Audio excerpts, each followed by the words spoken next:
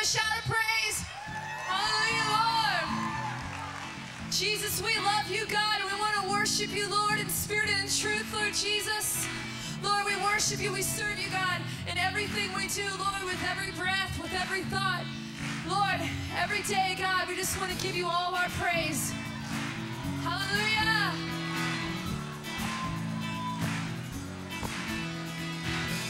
What to Lord, it's you give me life. I can't explain just how, how much you mean to me now. That you will save me, Lord. I give all that I am to you every day.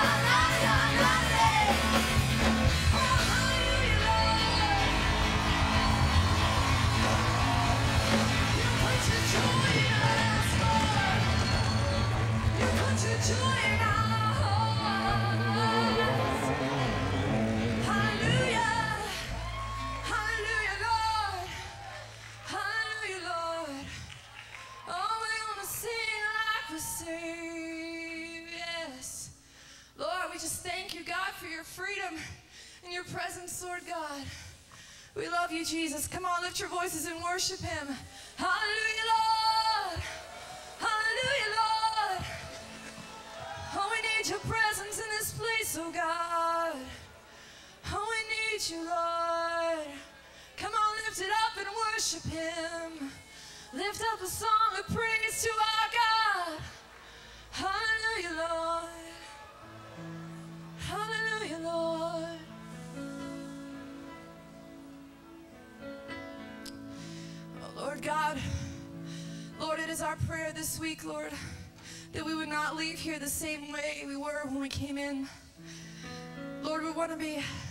Branded by you, Lord God, that there would be something that we would never be able to shake off of us, God, just like when when Jacob was wrestling with God, he touched him and he was never the same, Lord. And that's our prayer this week, Lord Jesus, that you would touch us, God, that you would take our hearts and that you would brand us with your fire, Lord Jesus. Lord, that you would just take every bit of us, Lord God, and change it to your glory, Lord Jesus. Oh, Lord, branded by fire, God. Ooh.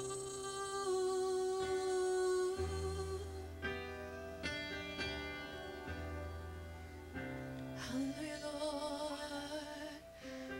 Jesus, the cry of our hearts, oh God.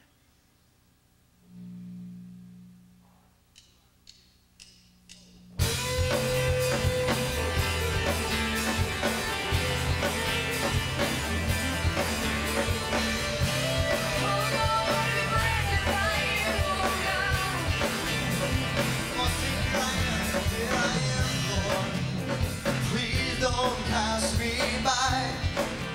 You look me in the eye and know that I am yours?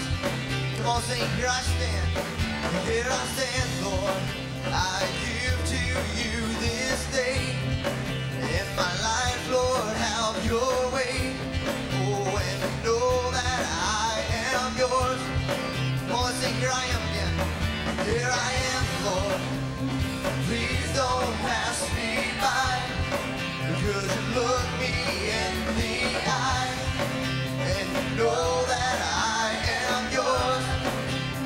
here I stand.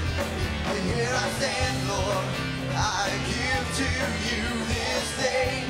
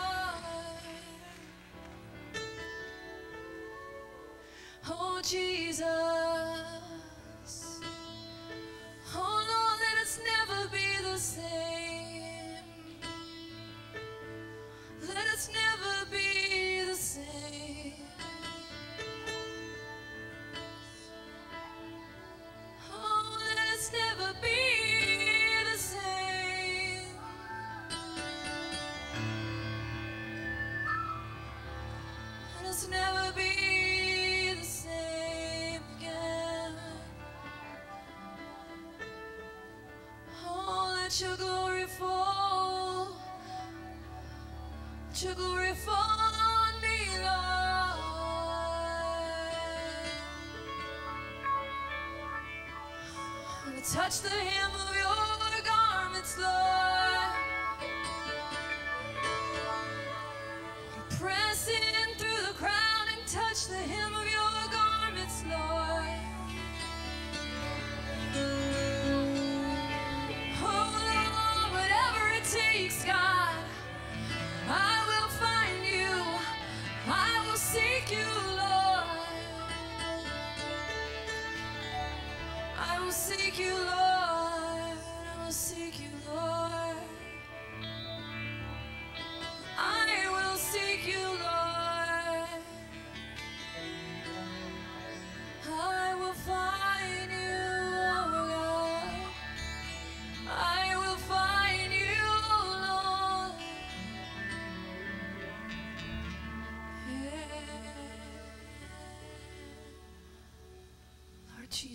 just fall on us, Lord God. Lord, like a shower, Lord Jesus, in through this place. Lord, saturate our souls, God. Let your spirit be so strong in this place that wherever there's bondage, wherever there's chains, God, that they would just fall to the ground.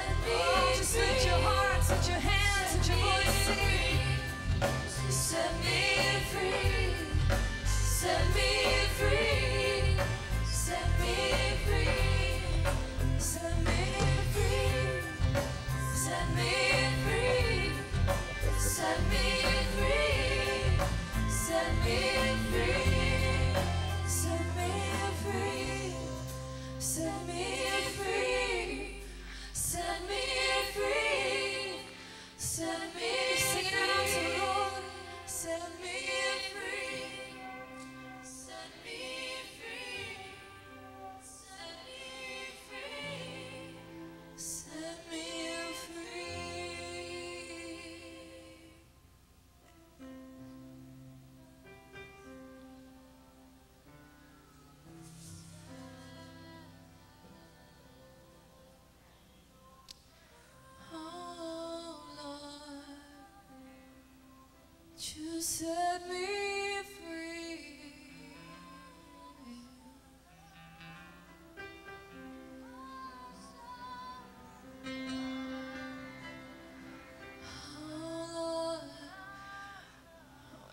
you call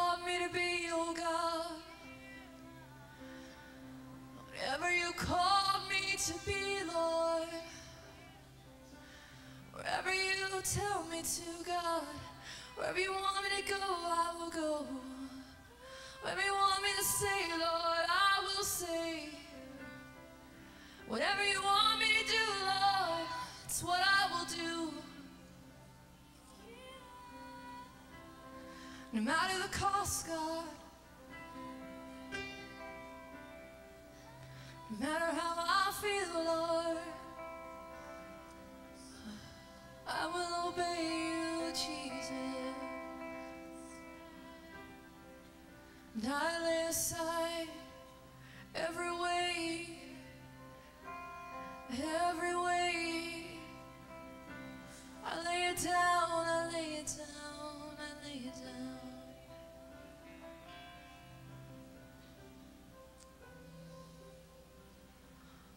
we know that you inhabit the praises of your people, Jesus. Lord, when we lift our voices in praise to you, God, you're in the midst of it, God. And we want you to show up in this place, Lord Jesus. So we just want to lift. Lift every breath, lift everything that's in us this morning, God, with all of our minds and with all of our strength, God. We want to lift up a praise offering to you, God. Lord, as we lift it to the heavens, Lord, we know that you'll be there in our midst, Jesus.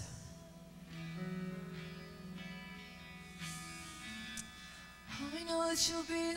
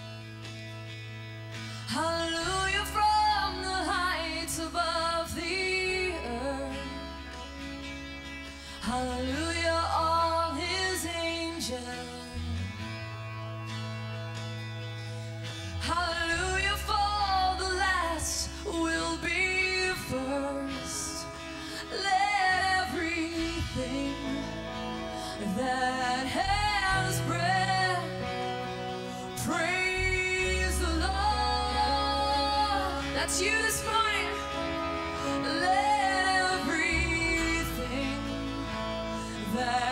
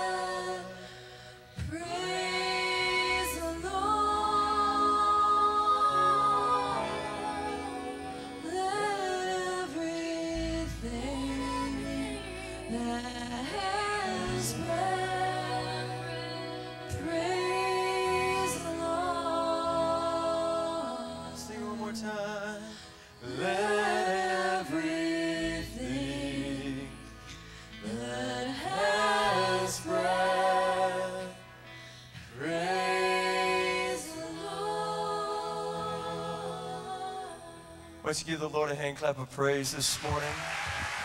Yes, Lord, we give you praise. We give you glory, Lord. You deserve our praise, Jesus. You deserve all honor and glory and honor. Woo! Shamaye.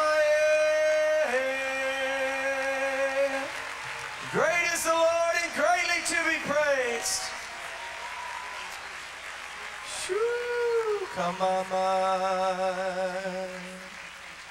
Yes, Lord, you may begin to make your way back to your seat this morning.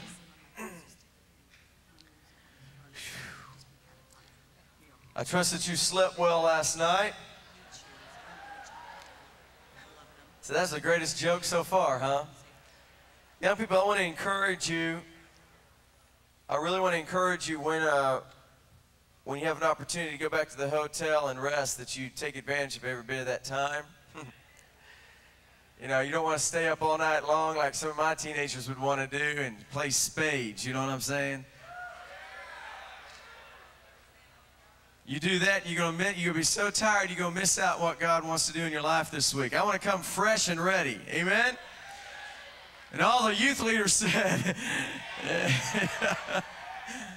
told my wife this morning, I said, I'm not as young as I used to be. Praise the Lord. I'm looking forward to a great day today. We're in for a great treat. Uh, my good friend's going to be coming this morning. Then, after uh, this afternoon, our Master's Commission uh, Director, Randall Graves, is going to be ministering here in the sanctuary. And uh, all of the leaders are invited to join me across the street in FLC, which is where you'll be having lunch at. Right after lunch, I'll be meeting with all the leaders uh, this afternoon at, at 1.30, I think it is. And then tonight, Michael Rowan will be here. So, hallelujah. But the neat thing is the King of Kings and the Lord of Lords is here all day long. Hallelujah. Why don't you give a great big friend, my friend, a great big warm welcome this morning as she says, wild and crazy applause. Come on. Wildly crazy applause. I can't hear you.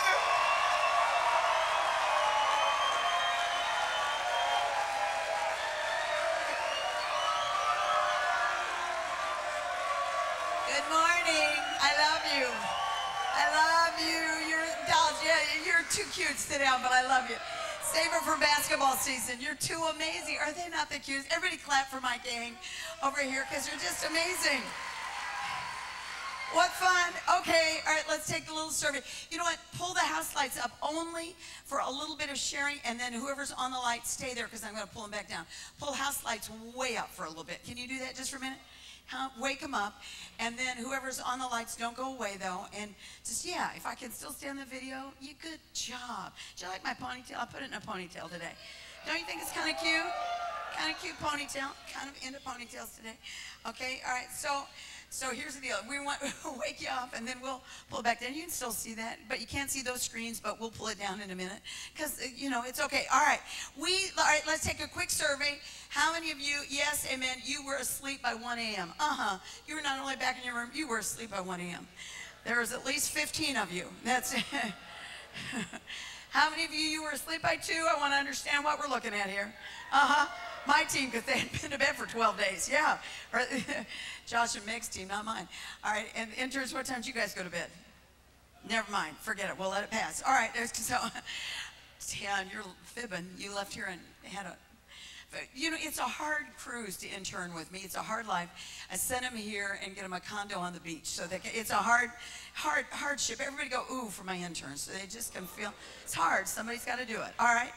That's why they love that I'm so close to Brother Richard. Okay, they, you know, they're glad that I'm not really close to somebody in like Des Moines, Iowa or something, because there's nothing much to go visit in Des Moines. Well, if you're from Des Moines, I'm sure it's a happening city. Okay, uh, so, all right, and then, all right, how many of you, you, it was two o'clock or after when you hit the sack? Can I see your hands? That was me.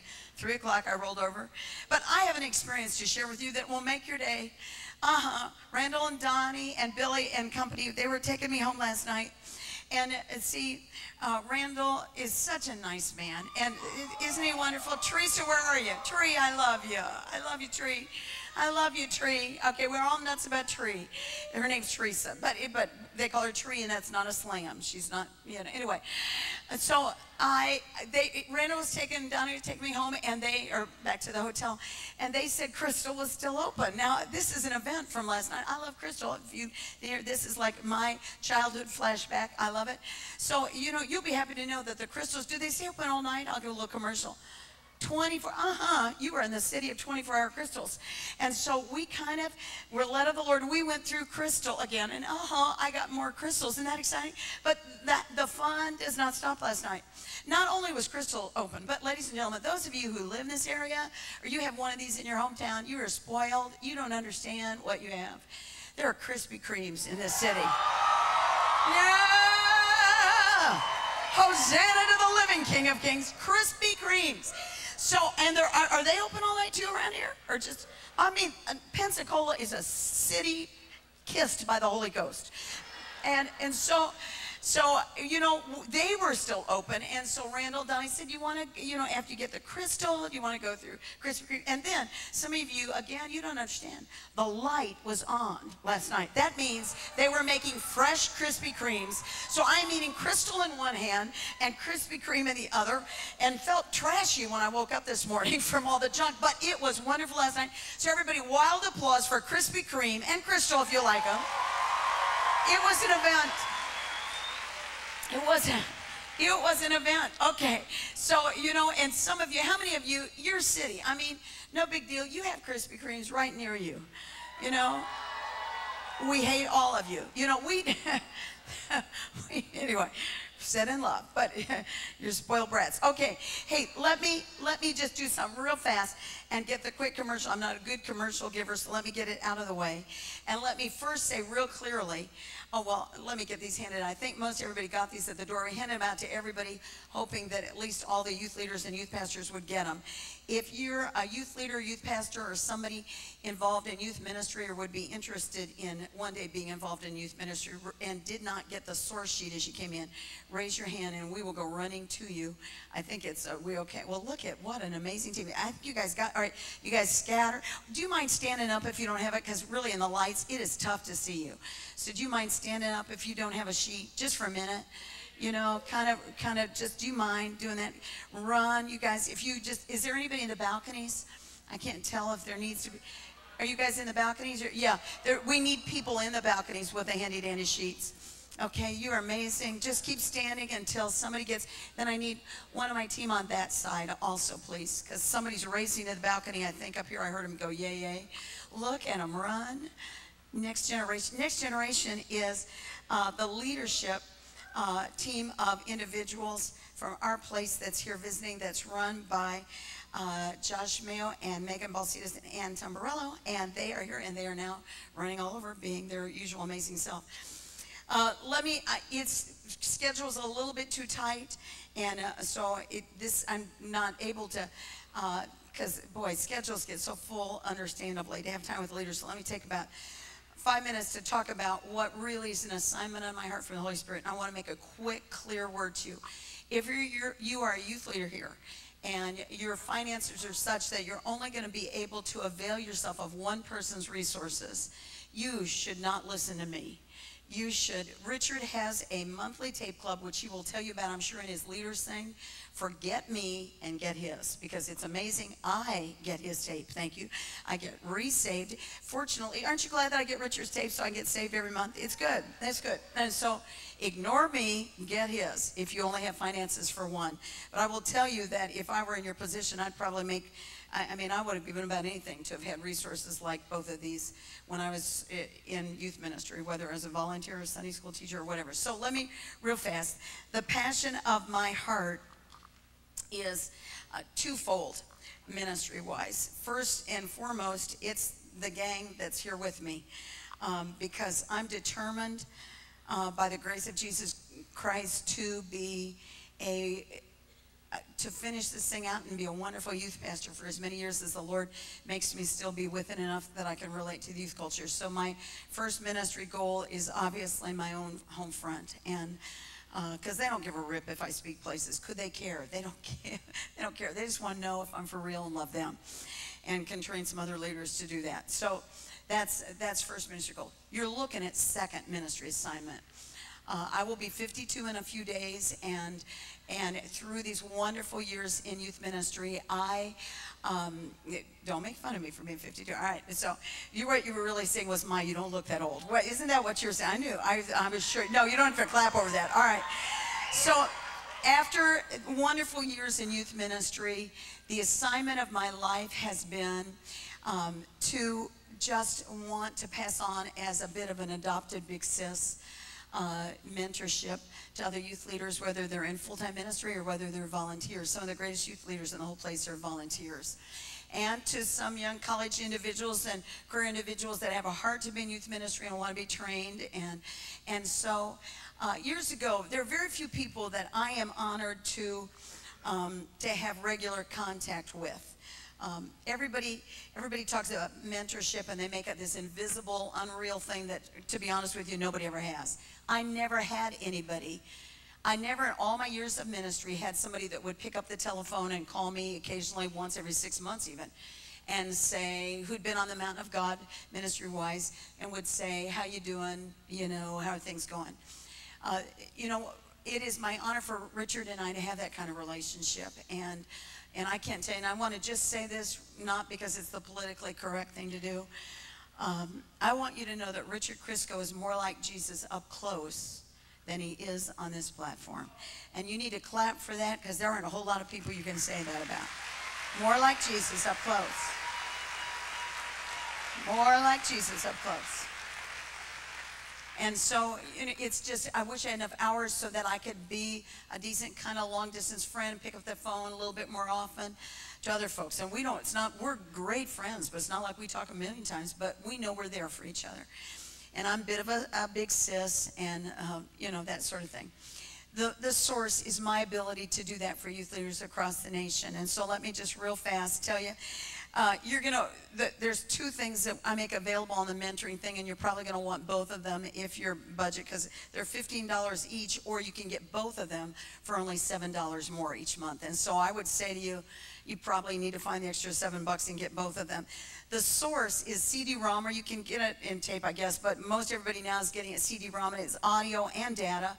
And it's a CD-ROM of a live message from our place. So Amazing Jordan will just say to me, okay, we're taping tonight. So really, you know, it's not anything special. We just turn on and tape it. And we put on CD-ROM so you can listen to it on CD-ROM. Then uh, you can download on your computer copies of the notes and the fill in the blanks. So you can just pull it right off the computer, shift it, change it, do anything you want with it. Then we put the skits and the dramas written by all of our team, including amazing people like Sean Johnson, who's seated over there, our resident genius. And and then you hear our kids do it, and it'll just bless you because our skits are, I mean, he writes amazing big dramas, but these are just the fun little skits during the time, and they're right on there, and we send you the script. So if you don't have anybody who does drama, it's a piece of cake. I mean, you can just use ours.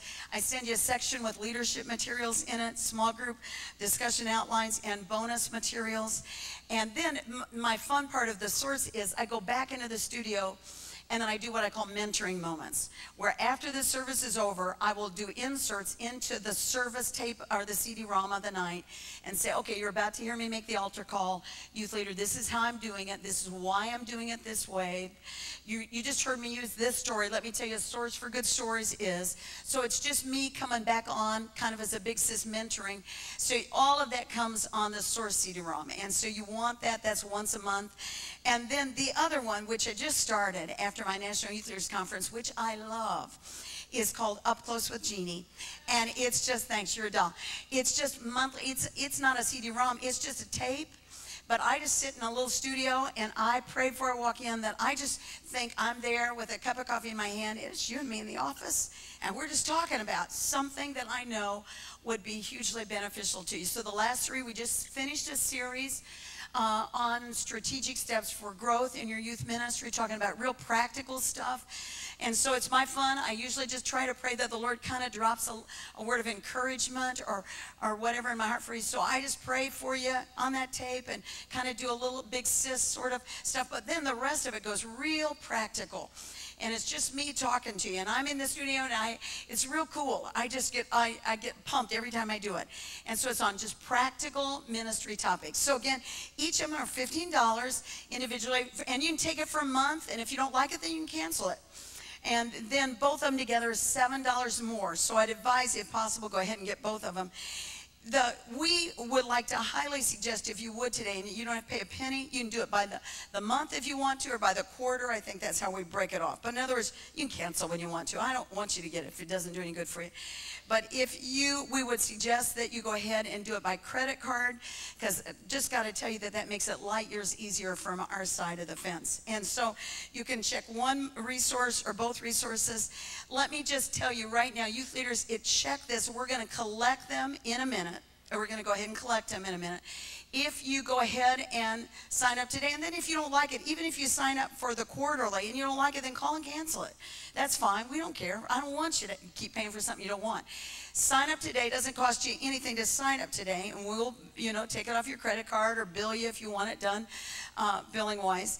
And then if you sign up today, then I'm going to dismiss the people who sign up right now a little early at the end to go pick up. I'll give you your, you can run over to the resource table, and just for people who sign up right now, you can pick up a free copy of the source of your choice or you can have an up close. So it's just my little way to say, You're amazing. I love to bless people that are at conferences. So fill this little pup in right now, and we're going to collect it in about five minutes. I used to, it, and I'm going to call Josh up for a minute. You got to know that you're watching me walk in new territory. Um, I, I, have traveled for 25 years, and with the exception of a quick word about the source, never even made any of my resources available. And, and somebody uh, on my team that I respect very much in the Lord, Dan Valentine, kind of came alongside and said, Sis, this is, you're kind of not doing what the Lord would have you do. So this is like the first time apart from our national youth leaders that I even made anything available over that resource table. So Josh is going to come up, my most amazing son, real fast, tell you what is, and throw stuff in the audience. Everybody, wild applause, wild applause for my son. Hey, is it all right if we give away some free stuff really quick? Because yeah, I'm in the giving mood.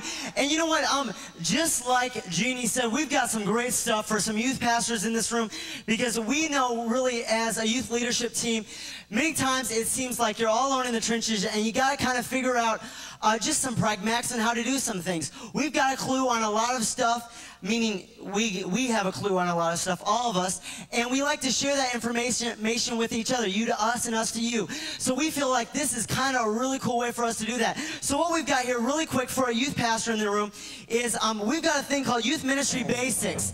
This thing is incredible. Aw, I feel at home. Thank you. All right, what we're going to do really quick, though, Youth Ministry Basics. It's an eight-part series for youth pastors that gives you the pragmatics of youth ministry. It's the eight cores of crosscurrent that ta- that's taken us from about a youth group of about 35 to about 1,000 weekly. It's got supplemental materials. All right, we got to play a time it lighter, guys. Time it lighter. I love guitar. But here's the deal. Youth pastors, if you can get one thing, we've probably only got about 20 of these. They're on sale like crazy. This usually doesn't last very long at all. So here's the deal. They're not be back at the table, um, but it's uh, we've got a CD-ROM in here. We've got eight different tapes with supplemental uh, material for each one. Subjects like cell groups, how to start cell groups, cross-training, uh, an easy way for jumpstart new believers, Project 4 and 18, an explosive growth strategy, um, ministry internship program, how to run an internship program, leadership, raising up an amazing leadership core, how to start a leadership core. Another one is visitors, uh, first impressions and follow-up, how to take care of your visitors. Another one is point guard, how to get not a leadership team, but students involved in everyday leadership, everyday leadership in your youth service. And Route 44 is our huge discipleship process. It's this gives you all the materials. You want this, you want this, you want this. So I need a youth leader who can run up here or give me a hand. I need somebody to give this away to. Who can I give this away to? Oh yeah, that's 60 bucks he just got off right there. All right, we've also got all those titles and singles for eight bucks. Again, with the material to the side, this stuff's incredible. Who can I give it to? This is cell groups or cross train. No, no, no, I need somebody else. Come on. No, I can't give it from the same group. I'm sorry. Come on, come on. Oh, I'm sorry. Come on, wait, wait, wait here. There you go. All right. Hey, do we have any kids in the room? All right, we got something for you guys. We got a couple different titles. Living your life on the cutting edge. How to live your relationship with Christ to the cutting edge. There's something cool. I'm chucking this, chucking it out there. All right, another thing we got is finding true fulfillment. Finding the fulfillment that God wants in your life.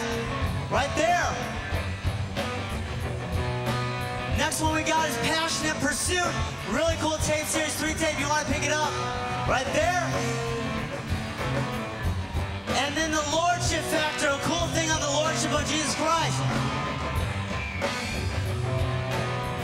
All right, last thing, youth pastors, you want to check this out.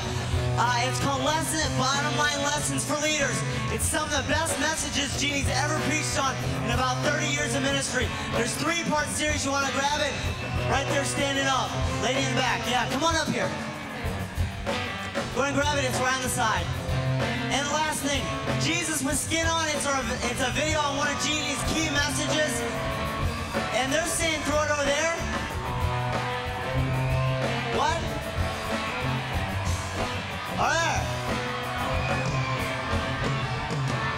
What? Oh, balcony. Yeah, I guess we'll use you guys. Thank you. Hey, we love you guys. Grab some stuff at the booth. You guys are amazing.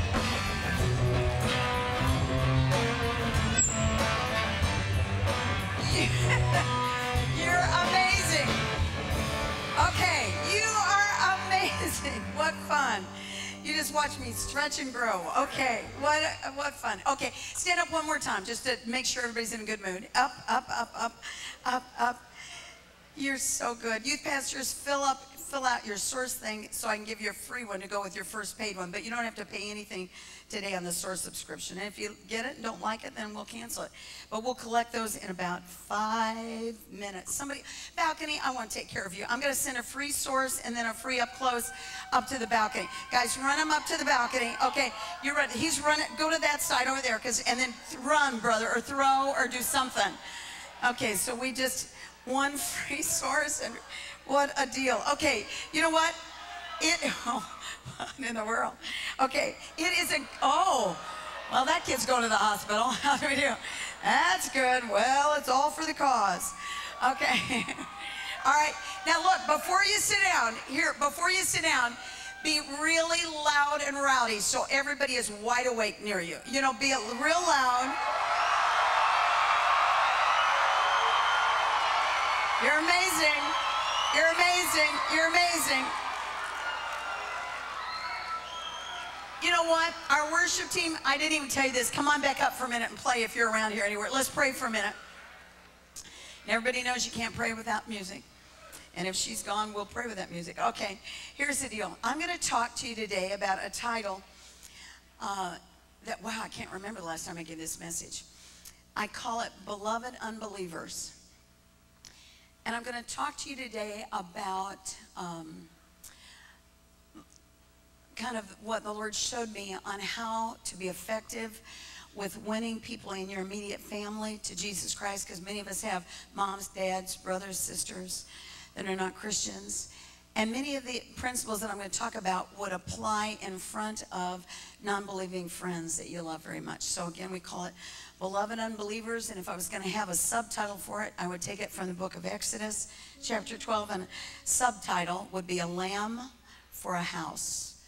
Uh, but if you will, for a minute, simply because every great youth conference has all sorts of different energy modes, and this one is not a twist and shout one. And I kind of questioned it this morning because I knew you'd been up late, but I'm going to trust that you're mature enough to be able uh, to do it. And so, if you will, please, why don't we just uh, right now ask Jesus to make this morning a morning? Uh, it's a pretty huge deal. See, um, when I came to faith in Christ, no one in my family was a Christian. I had referred to the fact last night I was an only child because of an RH factor problem that my mom had that before the shots came out, and it was difficult for RH babies to live to term. And um, so, you know, my, my, I certainly didn't have the storybook life growing up. We'll just put it that way. I was raised in a real poor section of town. Yet in my house today, I have a sweet little picture of, of our little house that I lived in all my life, tiny, but it was my home. Um, my mom and dad, neither one of them were Christians. They eventually gave their lives to the Lord, but it was pretty bumpy road. My mom was always loving and kind and just a great mom.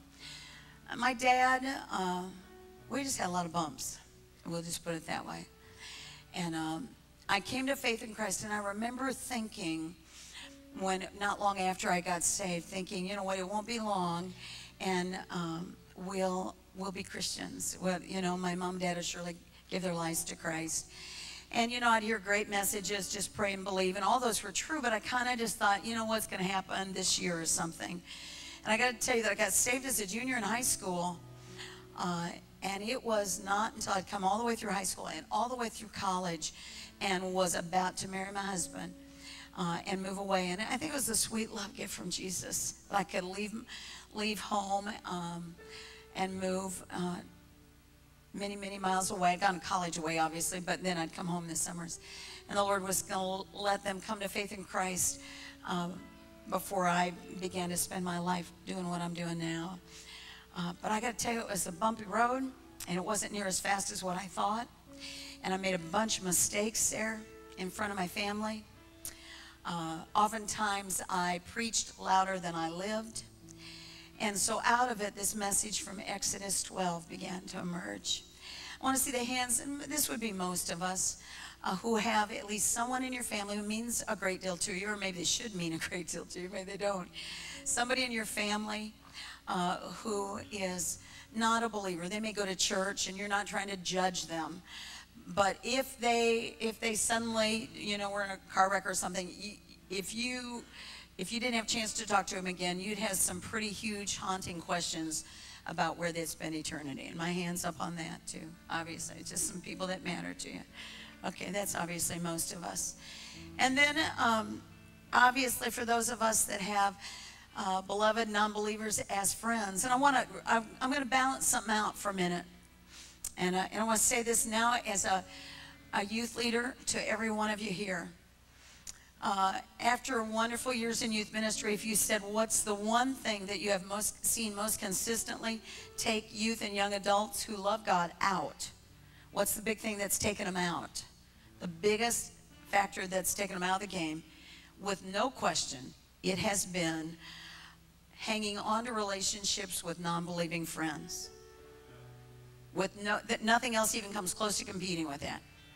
So I want to say to some of you that made choices last night and others of you that are trying to leave this conference at a whole new level spiritually, I often say to my gang at home, and they're going to say it with me because they know the line that's about to come. All right, ladies and gentlemen, let's do it. Show me your friends, and I'll show you your future. Do you know why they know that so well? I didn't get them alone today and say, let's practice this. You got to act like you know it. I mean, they probably think that that's going to be on my tombstone. And I just challenge all of you, don't ever make fun of the line because that that very line needs to be used to the Holy Spirit to haunt people at key moments. So don't ever even kid about it. I say it a million times because I want it to be haunting in people's heads. Show me your friends and I'll show you your future. In the name of, I want to get my friend, my best friend saved, oftentimes degrees and emphasis of relationship, friendship wise are sustained. And let me explain to you, like, just for a minute, uh, bring me a chair real fast, real fast. And then, Donnie, come help me for a minute, will you? Okay. Can you stand on this? Will somebody get mad if you stand on that? Here, just stand on it, and we won't ever tell. Okay. Please don't ever tell. Okay. Oops. Whoever's not.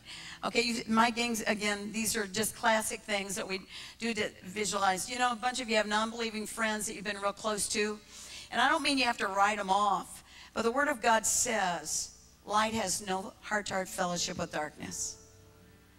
And so the reality is, lots of times, in the name of I'm going to get my unbelieving friends saved, we go back into the same environments, the same level of hour for hour contact with them. And let me explain to you hear it from one who's watched it countless times. You don't get them saved, they pull you back down. So I appreciate your desire to get your unsaved friends right after you come to faith in Christ, but you better limit your contact with them and you better make it real clear. And you, you say, well, my friends say, boy, after I got saved, I spaced them. That, you know, I feel like, how can I ever win them if I space them? That line is as old as Satan is. I mean, the devil needs to think of a new one on you. Yeah, you know what? You are going to have to back away from them if you spent close time because you're going to find yourself going back down because here's the bottom line. All right, okay, if Donnie, pull me up, will you? Come on, Don, Donnie, I'm just a little girl, for but don't break my arm. Okay, all right. See, real tough to pull down, but not real tough for me to pull him down. Thanks, Donnie, you're amazing. Everybody clap wildly for Donnie, who did such a good job standing on that chair. And so, in truth, you know what? It, we say, I'm going to get back home and I'm going to still hang out with the same friends, but I'm going to pull them up. Well, you know what? Donnie tried to pull me up. That's real tough. But it was real easy for him, for me to pull him, pardon me, back down. And so as I, as I balance this message, so it goes mostly to a context of family units. And that, you know, trust me, you're fine there. Go for it. And you go, I just can't hang out with my dad. I'm afraid he's going to bring me down spiritually. Think not, all right? No, no, mom, I can't do the dishes for you today because I'm afraid it'll be a negative influence. No, no, not happening there. not happening. I'm talking friendships, okay? And so if if though as I share, I want to make sure that this message sends you back to non-safe friends to be used of Jesus, but I don't want you to use it to rationalize something that will eventually pull you down. Do you hear me? And so, if you will, um, let's just pray. Maybe just sing anything. Isn't she a wonderful worship leader? She's so good. You know, she's so amazing. She's Richard's worship leader. And she's amazing. All right, let's just for a minute ask the Holy Spirit to, on this whole topic of beloved unbeliever, make it uh, something that changes how we live when we go home with people that we care deeply about. Will you? Let's pray. Come on. Father, in Jesus' name.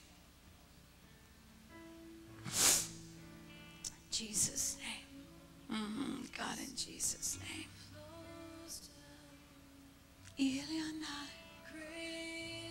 We honor you, God. Father, it's a great morning, and you're beginning an amazing conference, and we thank you for huge fruit that you and you alone brought forth from last night. But Lord, as I do this, this my final general session with these amazing, wonderful human beings, I just ask Holy Spirit to find us all, whether we're up in the balcony or the back or the front, and wake us up because of, of the importance that this message will have way into our future. Lord, even now, Lord, we all think of some beloved unbelievers that matter in our life. And we just say, Jesus, help us to hear some things in the next few minutes that change how we approach this thing when we go home. Help us, Lord, even with our non safe friends, to do it sensitively, uh, to do it in no fashion that will violate any scriptural guidance. Uh, but Lord, we just agree together for the beloved unbelievers, particularly those in our family, that the next few minutes will be full of life in God. In Jesus' wonderful name, we pray it, Lord. Amen. Amen. Now, listen to me. Before you sit down, here's the deal. Wait a minute, don't sit down yet. Don't sit down. Youth pastors, you sit down and or youth leaders and fill in your little sheet so you can get your free thing to go with your first paid one. We're going to collect them down the aisle in about three minutes, and then you can go over right afterwards and get your freebie. So we're going to fill it in real fast and do credit card if you don't mind because it's easier on me. So you sit down and do youth leaders do that. The rest of you turn around and here's the deal. Turn around and and you're supposed to look at like three different people and tell them three things they could do when they go home to be impressive to a non-believing family member like make your bed, clean your room, fill the gas tank up, do the dishes. For crying out loud, do the dishes.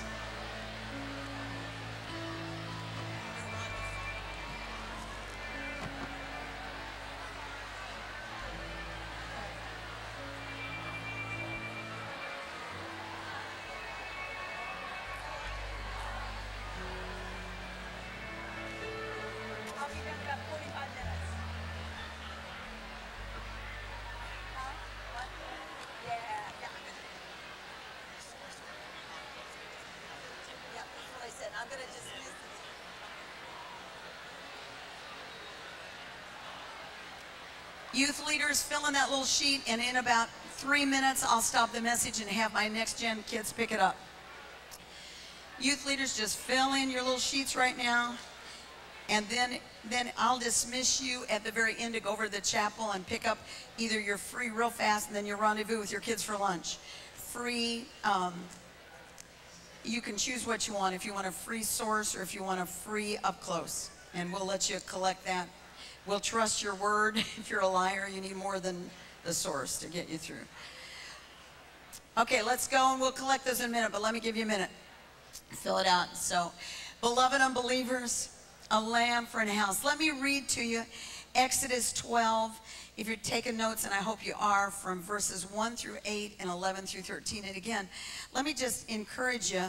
Uh, don't don't go to church without taking notes because it's it's you know real important that you be a note taker wherever you go. Genesis chapter 12, and I'm going to read out of the King James again. I've both evenings. Isn't that fun? I've read out of King James, which is not my. Hey, have you found the Message Bible yet? It's really good.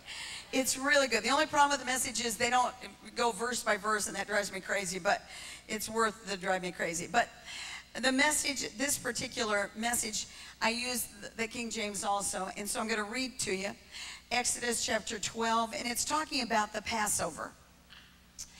Now, let me real fast so you can get an idea of the Passover. Children of Israel were called of God to leave. Okay, we're going to have fill in the blank. Children of Israel were trying to come out of what land? You're supposed to be saying Egypt. Act like you know. The children of Israel were trying to come out of.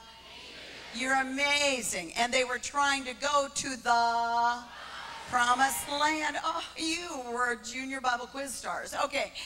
And so then, you know, the Pharaoh and the enemy sent these plagues on the land as they were going out. And the 10th plague, and you may not know, but it would be the one you think of. It was kind of the big nasty one. The 10th plague was that the death angel was going to fly over the houses. And what was going to happen? Okay, the four, first born, first born, the firstborn of every born. All right. the firstborn son. Oh, that sounded bad. I didn't mean that that way. All right. I just heard myself talk. Okay. You guys, can you see me through that pole? That's driving me crazy. All right. Who's behind the pole? Who is? Is that the Sean behind the pole? Sean, you okay? All right. All right. Hi, Sean. Good morning. Uh, the, so if you're happy there, I'm happy. The the firstborn son uh, was going to be slain as the death angel came over the house as part of the plagues that, that Pharaoh and the Egyptians and had been loosed on the children of Israel because they were trying to flee from Egypt. And so in the 10th plague, that was going to happen, uh, God Jehovah spoke to Moses and said, Tell my people that they don't have to lose their firstborn son. That all they have to do is, and it was the beginning of what was called Passover, and it's now yet to this day a wonderful spiritual tradition that is celebrated by Jews and all across the world. Passover was the night when they were to take a lamb from their house and a lamb without blemish to kill it as a sacrificial lamb and to apply the blood of that lamb to the front doorpost or in other words the door of their house and he said that then when the death angel flew over then the promise of Jehovah was that the death angel would see the, the, the blood of the sacrificial lamb and would pass over their house. Thus, their firstborn son would not need to die. And that's where you get the term Passover, you know. And obviously, it was symbolic. And I love talking. See, if you don't have a bunch of new Christians in your youth ministry, you're missing the greatest thrill.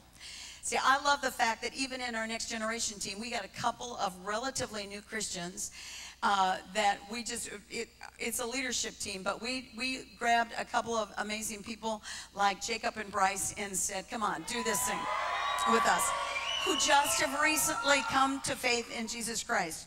Bryce a few months ago and Jacob just gave his life to the Lord at Coram Just, I mean, he's not even two weeks old in the Lord. And, he, and both of them have a ton of leadership. So we, we said, come on and come on board with us. I love the fact that I get to tell them, okay, and I, I won't even ask them because I don't want to embarrass them. But I, you know what? I love the fact that they probably didn't even know what Passover is. And I, and I want to say to you, some of you, you have you have a wonderful youth ministry, but you know what? If you had just tried to get some non-believers in your youth ministry, you'd have a whole lot more fun.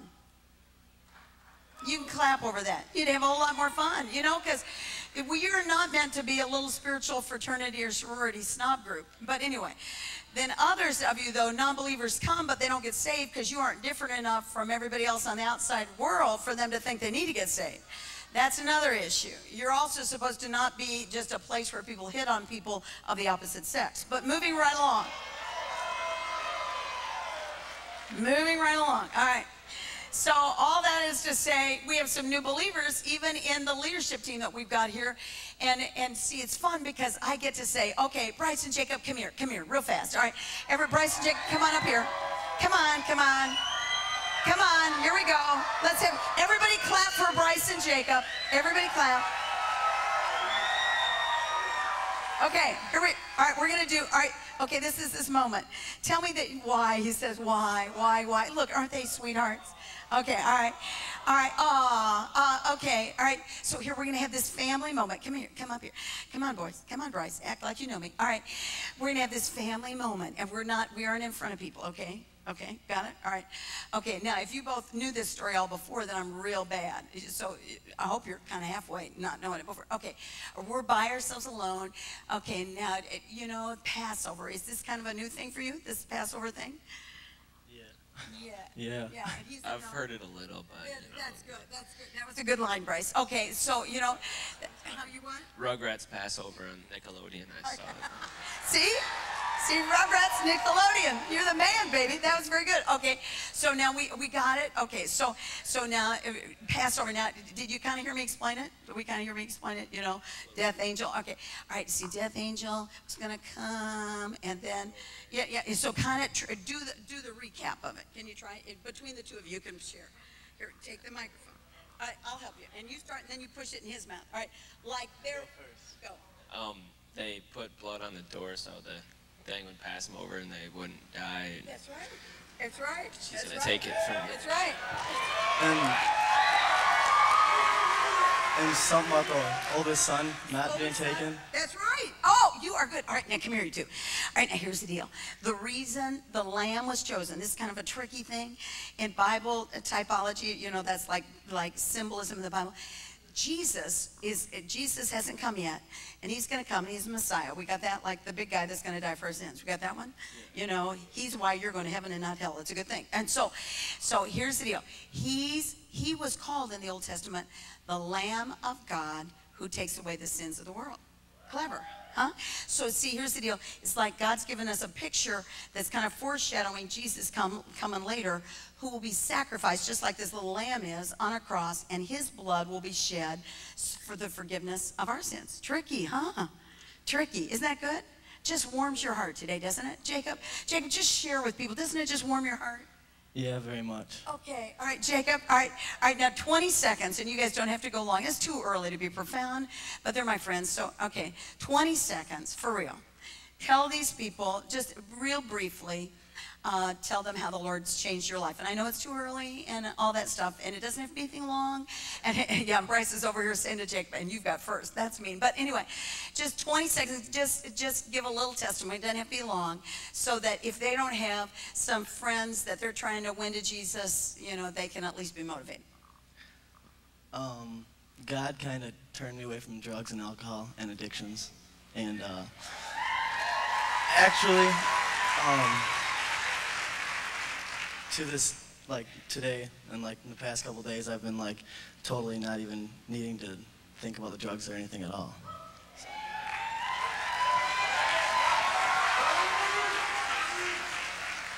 Um, Jesus has just filled my heart with so many different feelings and feelings of passion and joy that I can't even explain in 20 seconds. And it's not my life was really bad beforehand. It just it was empty.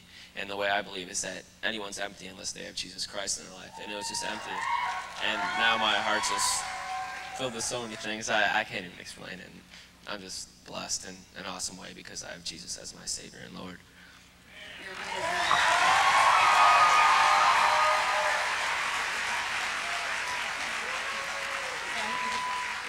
Okay. Told him, just remember your first preaching moment was in Brownsville. That's pretty impressive. All right. hey, uh, next gen, why don't you circle, and some of you the balcony too, collect, pass over the source sheets to the end of the aisle. Go to the ends of the aisle real fast, including balconies, and some of you go to both sides of the balcony. Then bring them back to Josh up here. Pass the source sheets, and then it, I'll dismiss you guys early so you can pick up your freebie. Okay, while they're doing that, don't talk, all right? Let me read Exodus 12, now that I've described it to you, but it was King James. Exodus 12, verses 1 through 8 and 11 through 13 reads like this. And the Lord spake unto Moses and Aaron in the land of Egypt, saying, This month shall be unto you the beginning of the months. It will be the first month of the year to you.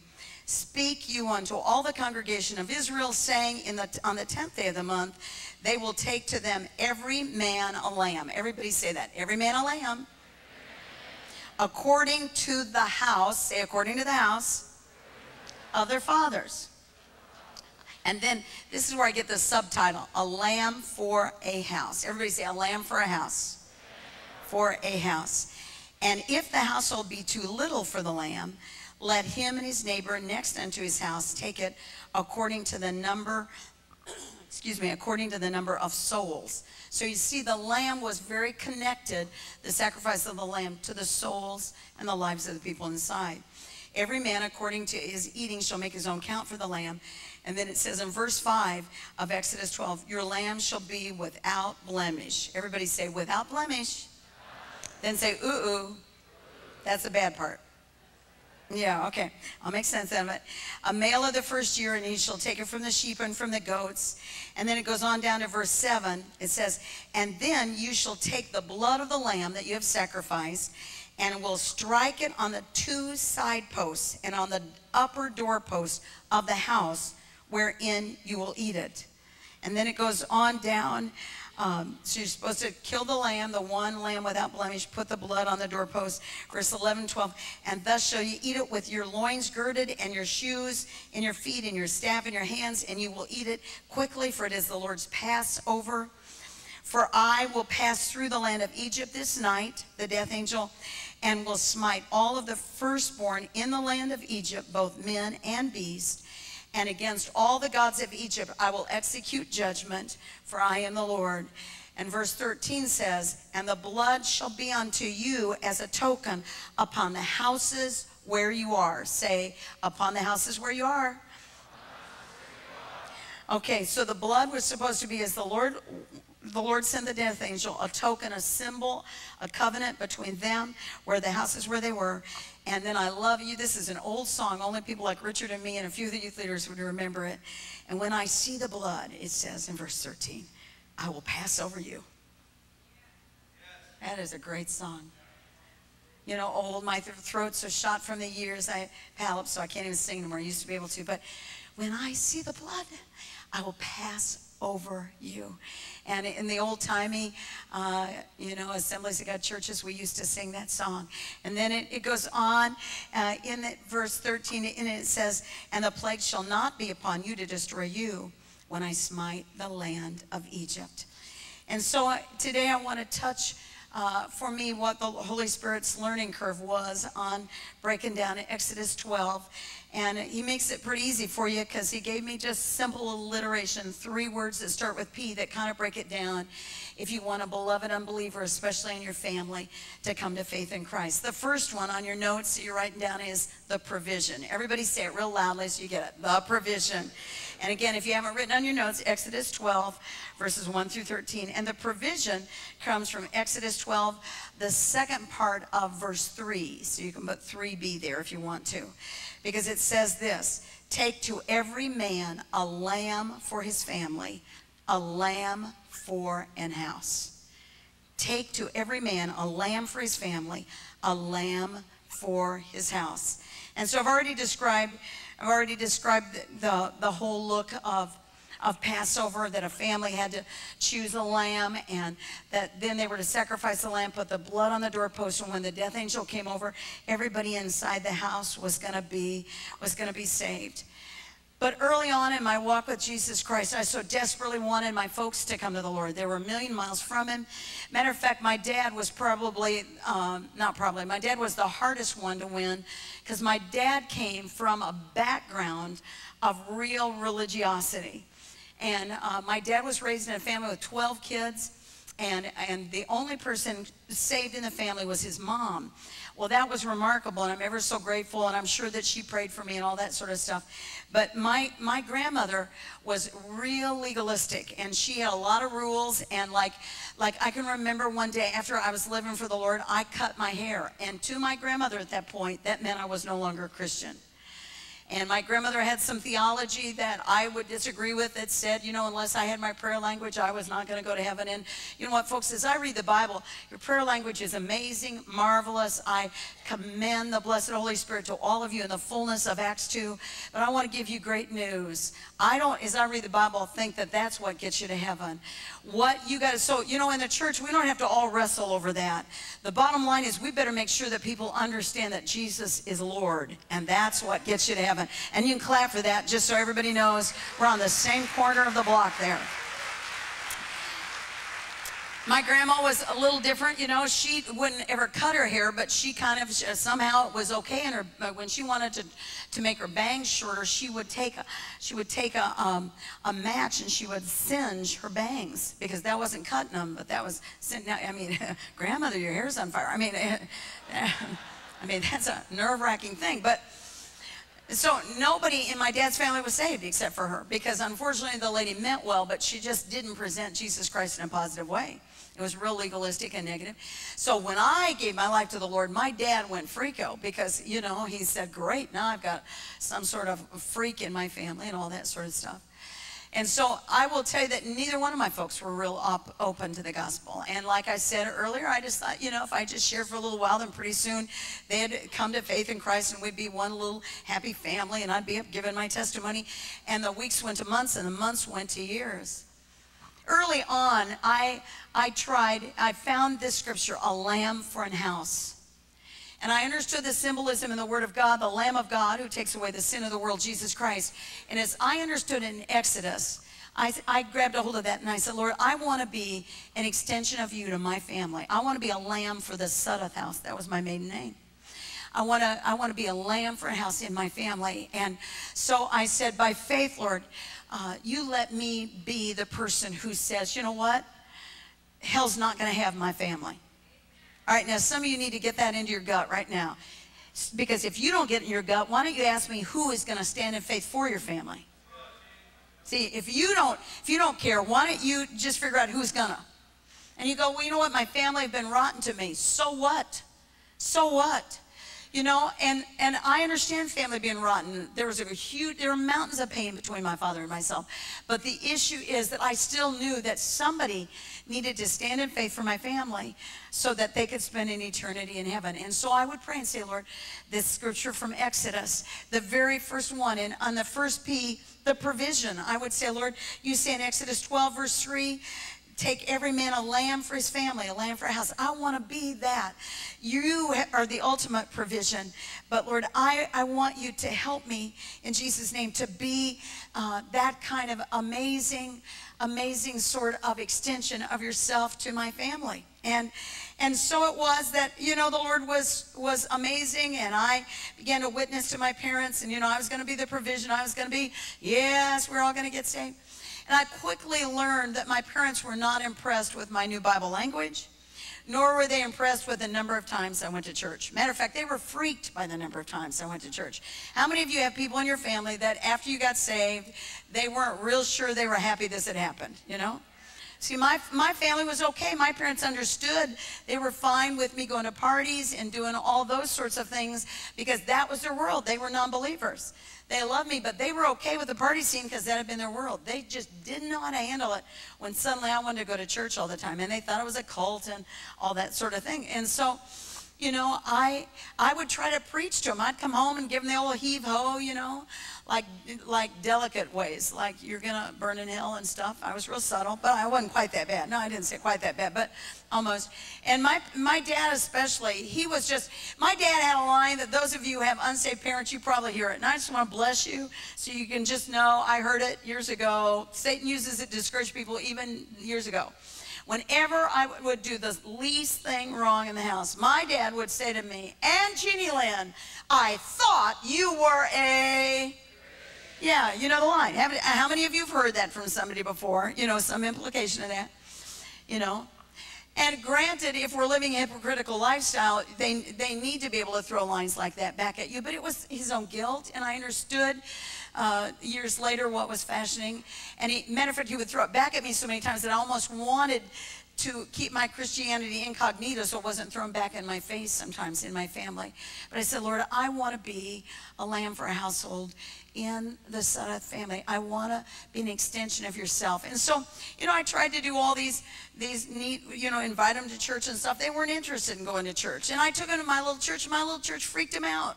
And, you know, so then they were real sure that I was in a cult, you know, and so, you know, and I just want to say to all of you, and some of you are youth leaders, you'll hear me reference and kind of tell you how I train if you pick out some of the youth leadership materials, you know, that are available. Folks, eh, you know what? Don't we all wish we could live in Brownsville? Don't we wish that we were all kissed by the Holy Spirit? Now, listen to me. To live in what really, I got to tell you, some of you turn your nose up. Uh, this, this revival has been going on how many years, Richard? Six years. And I know you would have no way of knowing, but give me a wild guess as to how many people have come to faith in Christ. Hundreds of thousands. So don't tell me you got a revival at your place if a bunch of people are shaking and falling over and a couple of people are getting saved. Do you hear me? Biblical revival is that which brings the church back to holiness and has with it a huge outpouring of the non-believers getting saved. So a bunch of you, you know, you, anyway, all right. Bless you, bless you. Okay, that's for another day. So is the shaking and all that real? Sure it is. You know, are there some people that are not valid? In every church there are. But the bottom line is what is happening here is tremendously valid. And, and so I took my family to a church, at my little church, and it was a wonderful, wonderful, wonderful little church, but they saw some things they didn't understand. And, uh, you know, I didn't have any decent answers for them. It kind of freaked them out. And so Uh, and there's nothing wrong with having great questions, but I just, you know, got all defensive. And then I began to realize that my dad didn't care so much about how many times I went to church or my mom. That didn't impress them. What impressed them was if I if I had a better attitude in the house. You hear me? What impressed them was if I volunteered to wash the dishes when I didn't have to. What impressed them was when I borrowed the car if I brought it back with a full tank of gas. What impressed them was if I treated other people differently and shared and was more unselfish. See, those are the things that were most going to speak to my parents. And so, in that first stage of being a lamb for the, the Sudduth house, the provision stage, I started out preaching. And, and again, there's nothing wrong with preaching. Uh, but you know what? My life needed to preach way more than my words. And I quickly just shut my mouth and felt kind of prompted of the Lord to just live it authentically, to become the kind of person who did apologizing fast. That's real Christianity. Do you hear me? You want to show it to your family and people that matter to you, to beloved unbelievers, learn how to apologize real fast. That'll make them think Jesus has changed your life. Change your attitude. Be more unselfish. They'll, they'll get real impressed real fast. I often think of the story of the little girl who was looking at her daddy, and she'd gone to church, and she was only about six or seven with her family for years, and her family's a Christian home. And so finally, the little girl was deciding if she wanted to be a Christian too. And, and so she was, at the end of the service, she looked up at her daddy and she said, Daddy, I think maybe I want to be a Christian too. Would you describe to me what a Christian's like? And her daddy looked down, you know, this tender moment. He said, Well, honey, a Christian is a person who's like Jesus, you know, who loves and is unselfish and caring and forgiving and serves other people. That's a person like Jesus. That's what a Christian is. And the little girl looked up at her daddy and said, quite honestly, Daddy, have I ever seen a Christian?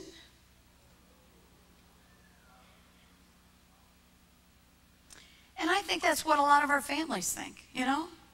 That's great, you know, that you can preach it, but they would rather see a sermon than hear one any day.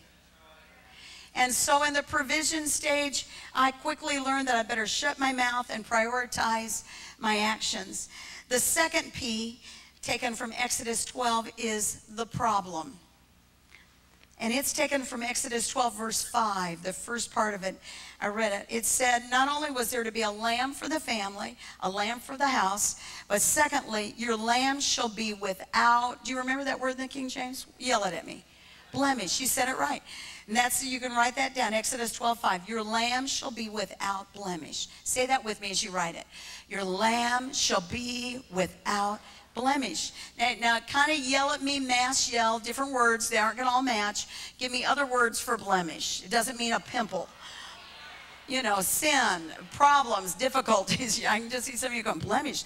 Lamb had acne. No, the lamb was supposed to not have sin or any things that made it less than, than a perfect, a perfect lamb. And so, um, that was a problem because I was all ready to be a lamb for an house, but I wasn't real ready to be uh, a lamb that was working on not being perfect because nobody's perfect, but I wasn't real ready to be, okay, I'm to. I'm to have my life changed and I'm to try to be a great example of Jesus to them. And so I entered what I call, and you might want to write it on your notes, I call it the Holy Spirit School of RA and SR the Holy Spirit School of RA and SR, and that stands for the Holy School, Spirit School of Rotten Attitudes and Stinking Responses. And I had a bunch of them. You know, rotten attitudes and stinking responses. Now, let me tell you that the most difficult people to be a Christian in front of will be your family. Do you know that? Can we hear that loudly?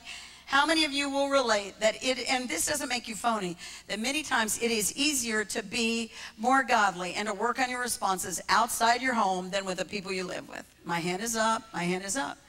Okay, and that is because it is precisely the people that are most up close to you that you most easily take for granted. They're the safest people. So, so again, I've often said it is one of my big goals in life to have those who know me best love me most.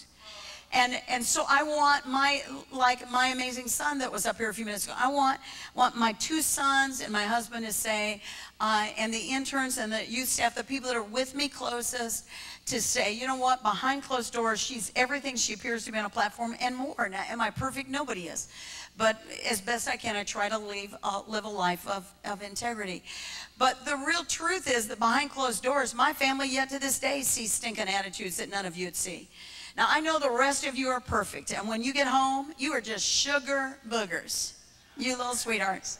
Look at your neighbor and say, You're such a sugar booger. You're such a sugar booger.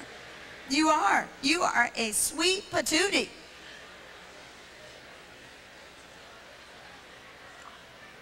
But I was not always a sugar booger. and so, so I, I often would find myself at this problem stage. I'd find myself having rotten attitudes and wrong responses and voice tones that were wrong. Let me tell you what, if the Lord hasn't started dealing with you about your voice tones, he needs to. Hey, Scott Zabel, your mom called. I'm supposed to give you 75 bucks. Where are you? She's worried that you don't have money. I'm supposed to give you, yes, I'm supposed to give you, before you leave, remind me, I got to write you a check for 75 bucks. Your mom's amazing. She also said you were supposed to call her as soon as you got here. Call home. Thank you, real quick. All right, yeah, okay, all right. Moving right along. That was not an ooh. How many of you have called home? All right, don't ooh him. All right, thank you. All 10 of you have called home. All right, but your mom wants you to have money. Okay. But so often, you know, in this whole, this whole uh, problem stage, we, we find it easier to be spiritual with everybody else, but the people inside the house, man, they're hard. And the truth is that many of us want our parents and our brothers and sisters and people up close in the family to deeply respect the moves that we made in Jesus. And the sad truth is that many times when they give us negative response back, though we don't let them know that what's happening, we're deeply hurt on the inside. And that's where some of the anger and some of the other stuff comes. Please understand that the reason oftentimes family members don't respond right to you is just because they many times are confused, they're afraid, a little bit under the squeeze of the Holy Spirit. Or maybe it's just that you are much more spiritual outside of your house than you are in. I over and over again have to look at my own family because again, I want to tell you, I want to tell you I'm perfect in my house. I am not perfect in my house. When I walk in my house, and I think a family does this for each other. You know what? When you get in your house and you shut the door, it doesn't give you a right to be carnal or to be sinful. But I'll tell you what, real family is take off the shoes and you don't have to comb your hair and you don't have to always be throwing kisses all around the room. Now, I mean, that'd be real sad if it was always, "Mwah, you little dirt. Now, come on, think of it. If I looked at my sons all the time, oh, Josh, oh, you're amazing. You're, what-" I about to say that all the time. But anyway, the issue is that when I've had a crummy day and I walk in the house, I'm okay. You know, I'm not going to go, oh, I'm wonderful, you know. How are you as a greeting, not a question. So I, I oftentimes, yeah, of you were slow, but I knew you'd get it if I left you there for a while. So sometimes in, in the problem stage, um, those that most need to see the character of Christ do not in us. And that is normal, but it is wrong. Can I say that again? That is normal, but that is wrong. To every man that's married in this room, let me tell you, I don't care how much, how godly you are. I don't care how many times you lay hands on people and miraculous things happen. I don't give you five cents worth of the power of God that flows through your life if when the door shuts, you don't treat your wife with the fruit of the Spirit. See, a bunch of you guys, you hear me talk about my husband, who's the senior pastor of the church, who is the hero of my life. I've never known a man more godly than Sam Mayo. And he is the old song years ago, Wind Beneath My Wings. Has anyone ever told you you're my hero? You're everything I would like to be. I can fly higher than an eagle. You are the wind beneath my wings. And that's really who he is. Never known a more godly man. And see, a bunch of you guys would go, boy, I wish my wife would stand around and sing Wind Beneath My Wings to me. she just sings turkey songs, you know, you know, instead of eagle. But you know what? That's because you act like a turkey to her. See, if you want your wife to treat you like a hero, you better treat her like a queen when the door's shut. And now this is all for the married couples and the rest of you, this is just free. And this is just free. And all of you who are single, you just don't even listen this moment. And those of you that are junior high, if you're going to get offended, plug your ears. But you hear these words all the time out there in the real world. To all of you married gentlemen, let me explain to you. If the only time you're nice to her is when you want to have some romantic time with her, hello. She will think that you are a user and an animal who's in heat. That was free.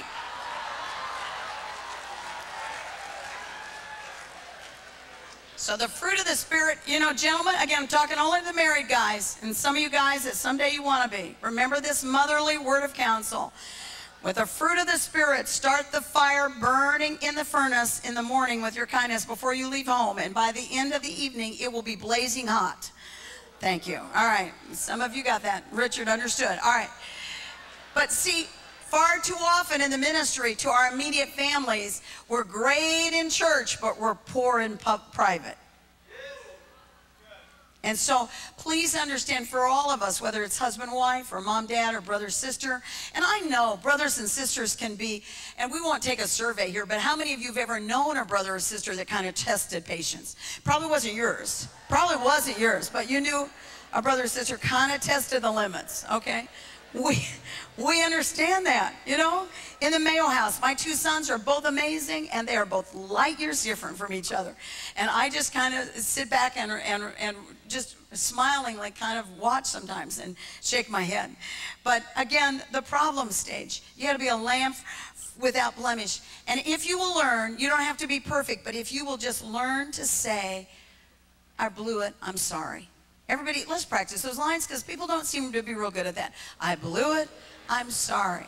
Now let me tell you how you don't do this, okay? All right, let me. Let, we're gonna do. We're gonna do like a survey from the front. Who's? I can't even see who's down there. Colin, come here, honey. Come help me. Come on, Colin. It's one of my interns. Come on, babe. Okay, quick, honey. Hurry. All right, now, Colin. You just had like you blew it in front of like your, brothers. He has amazing brothers or a sister or your folks. Use the voice tone where you're saying you're sorry, but use it the bad one, like like you're saying it, but but it's not saying it. Try that, the bad voice tone. Apologize through there. All right. I'm sorry, but you, Blump. That's right. Blump. That's right. Keep going. I, it was so good. Do it again. Okay, all right. I have a real fight. All right, what, what are we gonna go fight over? They're mad at you, cuz. Cause Cuz what? He hit him? No, he didn't hit him. Okay, all right. All right. Neil, I am sorry that I got real angry and I said some things that I probably shouldn't say, but maybe you shouldn't borrow my shirt next time without asking. And then trying to put it back in my drawer without washing it. All right. Is that good? All right. Everybody clap for Colin, my intern. He's amazing. The man. And, and see, understand that over and over again we say, I'm sorry, but, or we say it with voice tone that has attitudes. And then don't expect the other person to think you're amazing and full of Jesus at that moment. You, you learn to say, I'm real sorry. You know, I blew it. I had to learn to apologize for wrong attitudes, wrong voice tones. The test of your spirituality is not how much you use your prayer language. I think a far more valid test is how you use your mouth to quickly accept blame. Do you hear that? Now, I, like Paul in the book of Corinthians, speak in tongues more than y'all, so I am, am beyond a proponent of a prayer language. But how sad, because the book of James says that the same mouth that says has sweetness also has bitterness out of it. So your parents, what are you going to do? Walk up to your parents and go, Ilya mokotsan, da da bo yanda." Now, some of you say, did she just fake that? No. When that language is used enough, that is there. So I wasn't doing that to be funny.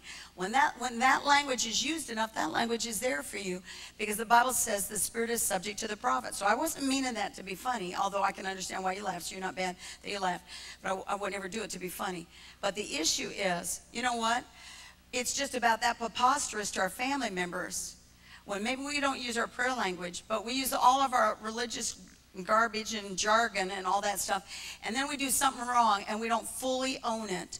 Or, you know what, if you want to be real spiritual, why don't you try imitating Jesus, who on the cross took a rap for sin that he had nothing to do with? So if you really want to be a lamb for an house, why don't you own and apologize for things that are really not mostly your fault? Now, I don't mean you walk around your house going, I'm sorry, I'm sorry, I'm sorry, I'm a loser, loser, loser. I'm just saying, you know, some of you, you might try it and help you, but you, I mean, you, you go, well, it wasn't mostly my fault. Well, so what if it mostly wasn't your fault? Jesus died on the cross and took a rap that was not at all his fault for us. You can clap for that. So you want to be a lamb for the house, own some things, own some I'm sorry's when you don't really have to. They only, you go, well, I'm not going to tell them I'm sorry because they know it's their fault. Well, you know what? They probably already know that, sweetheart. You know? What do you want Jesus the next time you repent for something? You want him to lean over and going, wasn't my fault. No. And so, in the lamb for an household, lamb without blemish, an eye surgeon, and this is such a great picture of how you win people to the Lord. An eye surgeon went into China as a missionary, and he went to Chinese hospitals. And he, his first surgery over there as a missionary was done on a Chinese man who was blind due to cataracts because it was in a very primitive area, and uh, they didn't have the medical technology. And so he removed the cataracts.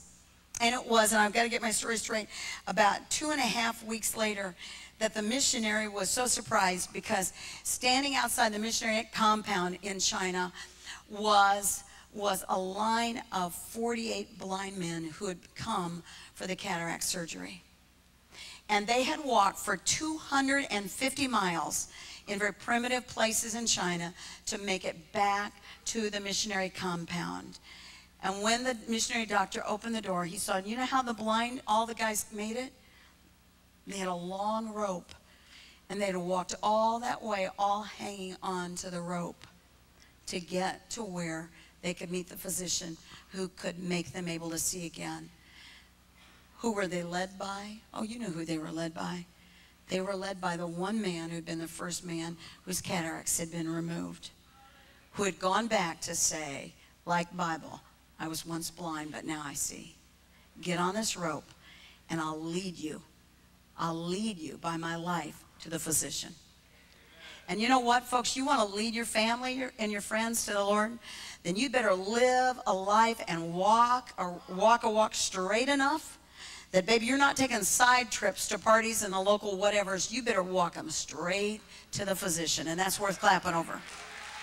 Get on the rope and walk them to the physician.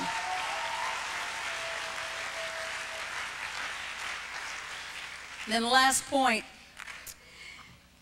Not only was the provision given in Exodus 12 a lamb for an house, and then the problem, but the lamb has to be without blemish. And again, I want to keep saying you're going to have flesh flashes. You're going to mess up. Just learn to apologize quickly. You don't have to be perfect. Nobody's perfect. And the last point is the privilege. The provision, the promise, and now the privilege. It's in Exodus 12, verse 7. And I read it to you before. It says, And they shall take the blood from the lamb and put it on the doorposts of the houses wherein they live. They shall take the blood from the lamb, Exodus 12, 7, and put it on the doorposts of not just everybody's houses, but after you shed the, the little sacrificial lamb, you were to take that, and a family member, the head of the house, was to significantly and symbolically apply that to the doorpost of their family. And that was the privilege. And then you, you go on and you hear, and, and then the Word of God said, you know, when I see the blood, I'm going to pass over that house.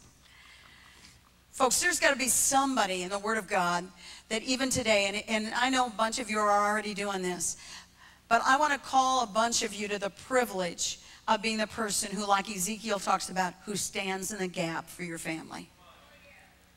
Who stands in the gap. Now, I know it's a morning session, so nobody gets real hoop and holler in the morning, but read, and I'm just talking conversationally to you today because it's the mom heart that wants you to hear.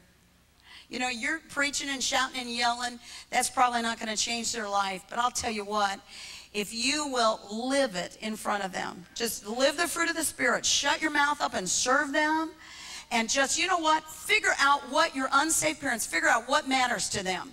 Like if it's being responsible, if it's like being home at a certain time, you better figure out what matters to them and you'd better jump through that hoop as long as it's not biblical. Not biblical.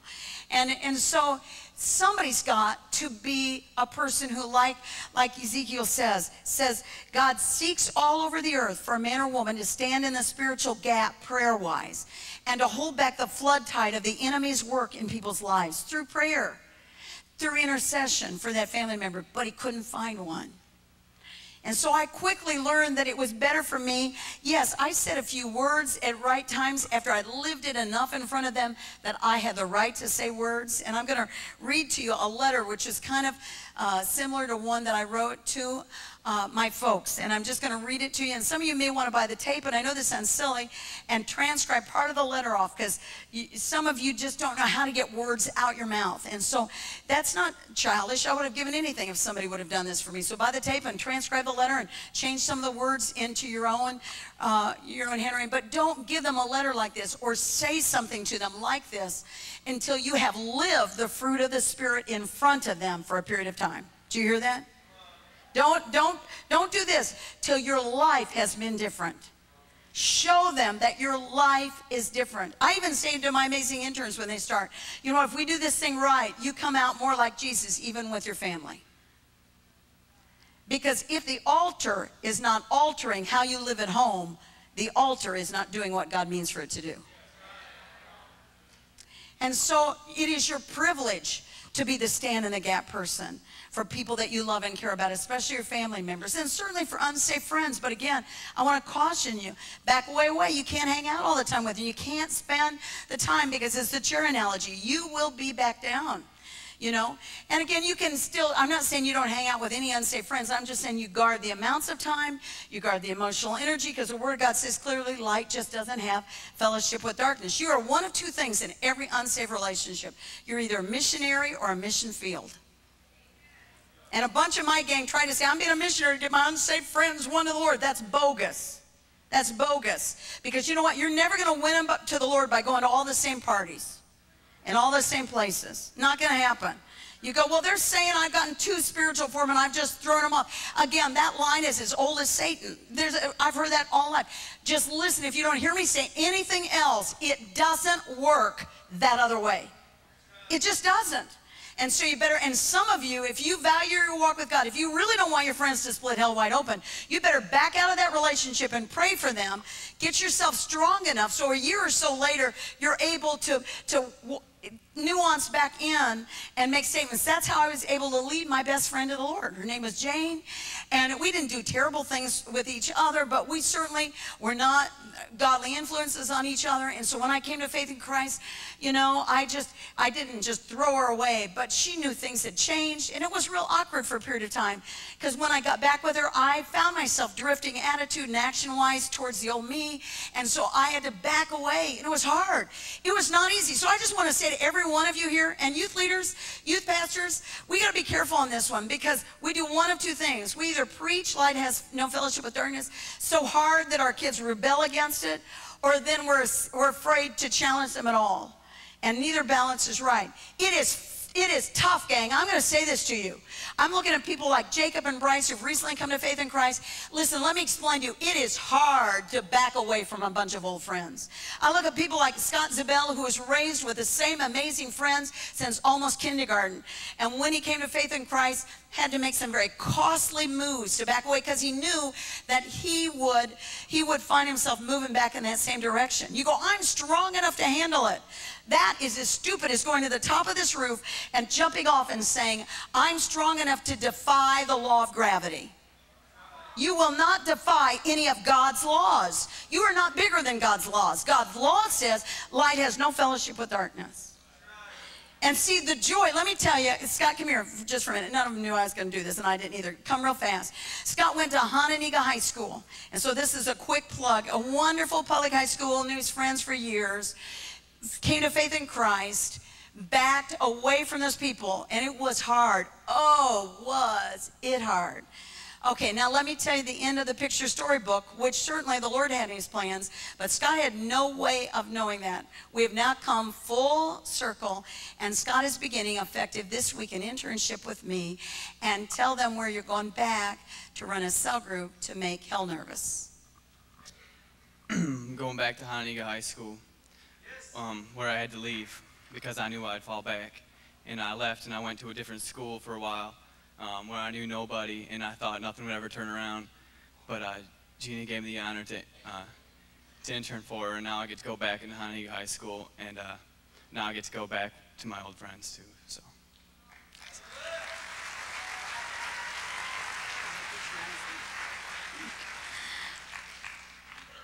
So. As we end today, I'm going to tell you that when you do it God's way, there are all sorts of smiles and privileges that come with it. And somebody, worship team, come on back up, if you will. I was the person who said, Lord, again, that scripture, when I see the blood, the word of God says, I'm going to pass over you. And I remember saying over and over and just start playing whatever. I was, remember saying over and over to the Lord, Lord, please, I want to, I want to stand in the privilege in prayer of standing in the gap prayer-wise. That's just praying for your folks and your family. I don't want to violate scriptural commandments. I want to stand in the gap. I want to be a lamb for a house. And I want to do it in a way that makes you smile. And the end of my story is that beautifully, and it took lots of years, but I was able to lead both my dad and my mom to Jesus Christ. Um, and uh, while we were still in Nebraska, my dad passed away first, and then you heard me read the little poem about when my mom died. And my mom had often said, and this is, I, boy, I don't usually tell this. My mom had often said, Jeannie, I, when I became a youth leader, teach those teenagers to love their families the way you love me and daddy. And so as my closing tribute to my mom, when she died of lung cancer real suddenly, because like I said, she had smoked her whole life. You think I don't like smoking? I don't like smoking for lots of reasons. One is my dad died of emphysema from smoking and my mom died of lung cancer. And they all stop later in life, but they stop too late. And so, you know, that night, my mom had died. Her funeral was on Thursday morning. Our youth service was Wednesday night in Nebraska. And so I said to the funeral director, I want Mama, she was going to have the funeral at the church, I want Mama at, my youth gathering. And so that evening, uh, not in a grandstand kind of way, because she was most precious friend I could have ever had. Yet to this day, really miss her because she was such a great listener.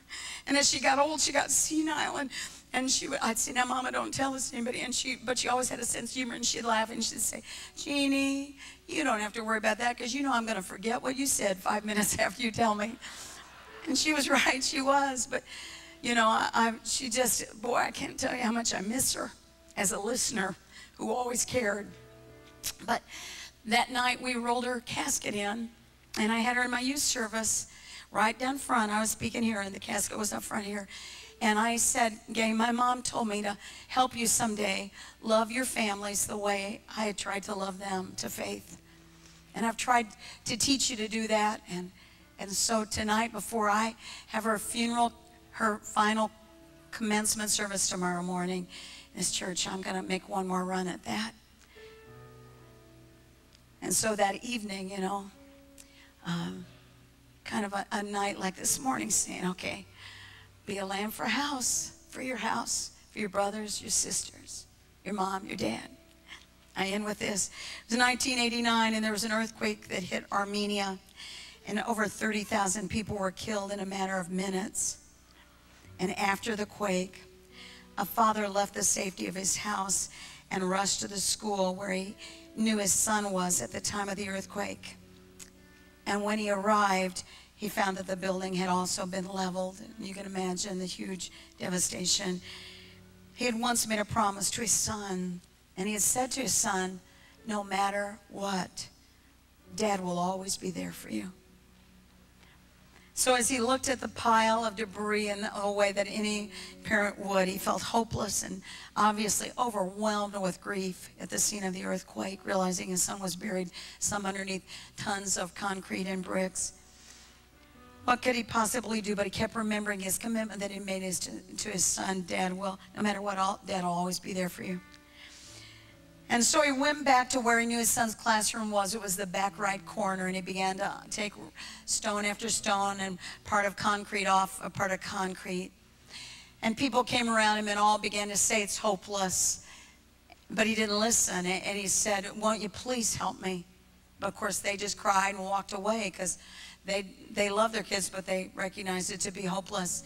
And the fire officials came and said, Sir, please stop because there are still fires that are, that are breaking out all over from the earthquake damage. At any point, it could be your life. Stop. It's, it's hopeless.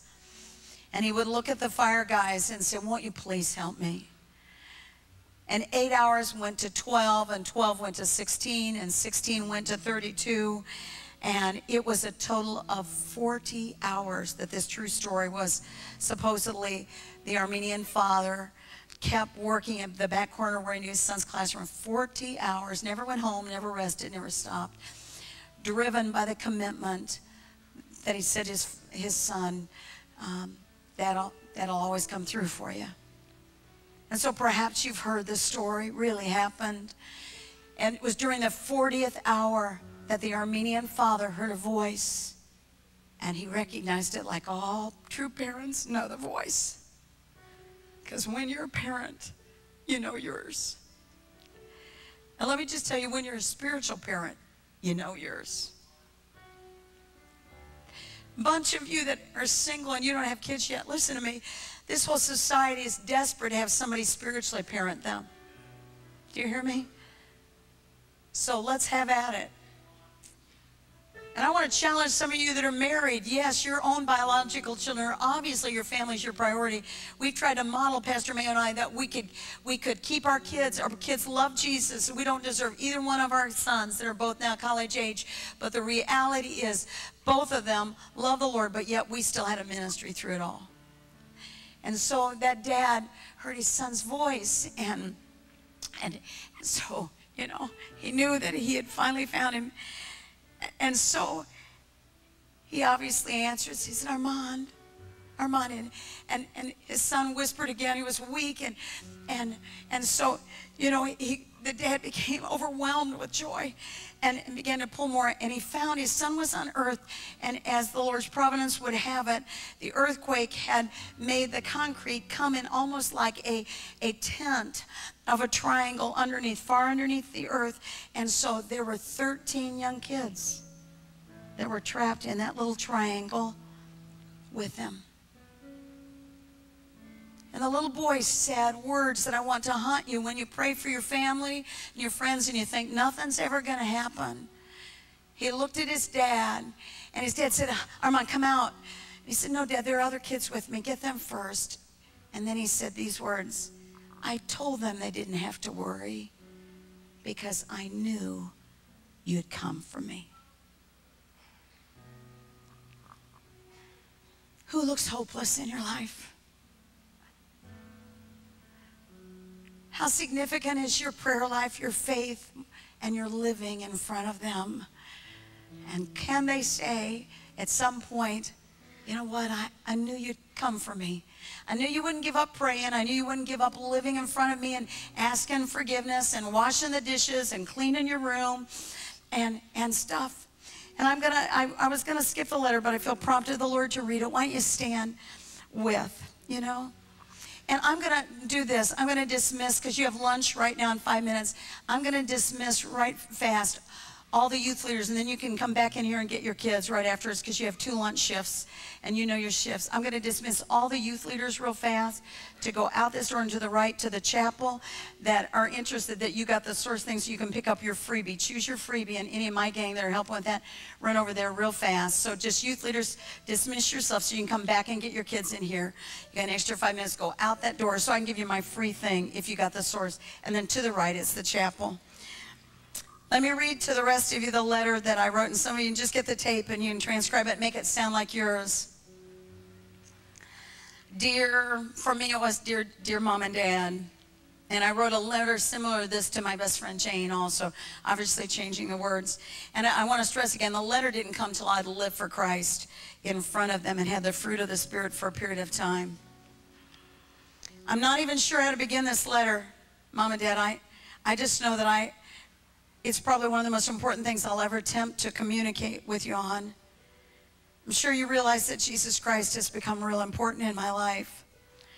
But maybe what you, you don't realize is that both of you are really important in my life too. I'm really sorry, Mom and Dad. I, I do a pretty rotten job of showing it lots of times, but I really do love you both.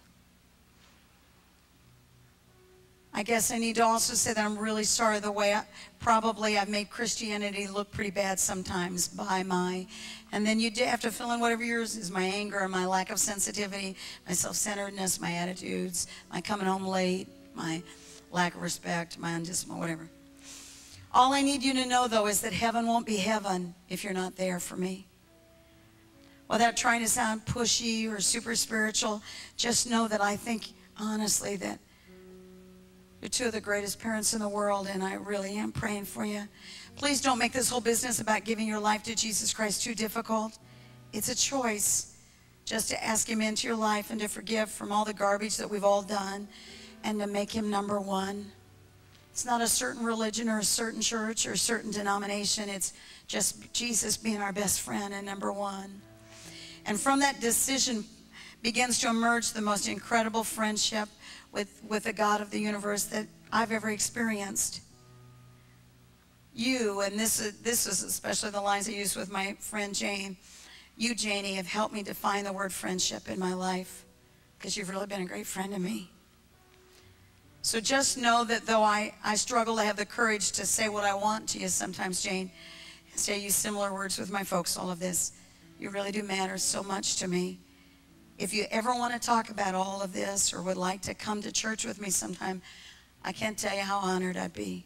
But most importantly, just know that Jesus and I both really do love and care for you. He's made a huge difference in my life. And I would love for you to consider allowing him to make one in yours. Lovingly. Whatever. I don't know who your person is today. As we in all over, and I would call you forward, but there it's lunch break right now, and there are going to be way too many of you to come forward. I want to see the hands of people who say there's somebody, and it may be a family friend or it may be a friend that maybe you've even vacillated lines on, and you, you know you need to do it way differently. But you have a beloved unbeliever that you want to be the lamb for the house for. Hands up, will you? Have a beloved unbeliever. We're not going to, it's lunch break, and I'm very aware of that. So we're not going to ask you to come forward. But I want you, if you will, right now. Uh, you know, our wonderful worship leader is just going to lead whatever she feels the Lord kind of prompting.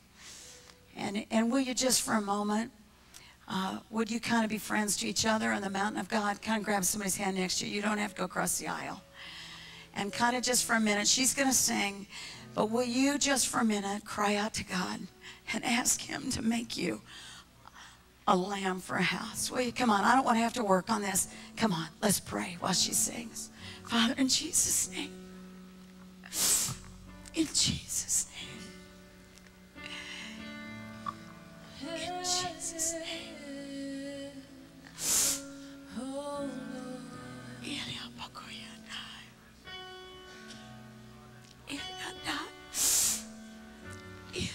Not to go the extra mile, not to turn the other cheek, and to serve you with a life. Let us share your fellowship, even of your sufferings. Never let the passion die. Help us live the life. Help us live the life. Help us live the life, Jesus. And all we want to do is bring you something real, bring you something true. Help us live the life. Sing that. Help us live the life. Help us live the life. Help us live the life, Jesus. Help us live the life. All we want to do All we want to do. is bring you something real. Bring you something true. All right, just for a minute. Before we close in prayer, I want I want to hear you just for a minute. I don't want now I want a little bit of standing in the gap praying for about 60 seconds. Short prayers reach the throne room when you don't live too far away. I want you to militantly ask God to make you a person who in prayer and by your life stands in the gap. Come on, let's pray. Father, in Jesus' name, in Jesus' name, God, make men and women in this wonderful sanctuary lambs for their house. Lambs for their house. Bring Exodus 12 to life, God. Over this sanctuary today. Bring Exodus 12 to life. We take the promise. We recognize the problem. We, by faith, bring the privilege to bear. May we be a lamb for a house. May the blood of Jesus through our faith as we pray and our life as we live stand in the gap for unsafe family members. In Jesus' name, oh God, give us the courage not to compromise or rationalize with unsafe friends. We want to do this right, Jesus, so people will be in heaven and not in hell. In Jesus' name. In Jesus' name. In Jesus' name. In Jesus' name. In Jesus' name. I'd love to pray longer, but I want to be sensitive to lunch schedule. Scott doesn't even know. Scott, come on back up. I want you to close in prayer, and I want you to pray for unsafe family members. And the reason I walked Scott back up here, and this would be okay to say, is there's one of his parents who he loves desperately, and and the parent's okay that he's interning, but he's just not altogether sure um, how things are with his parent. And the Lord may be saved, maybe not saved, who knows, for one of his parents. And so he would understand how to pray for family members and friends who are not Christians. So you know what? You can drop hands, but let's not drop hearts. Scott, pray.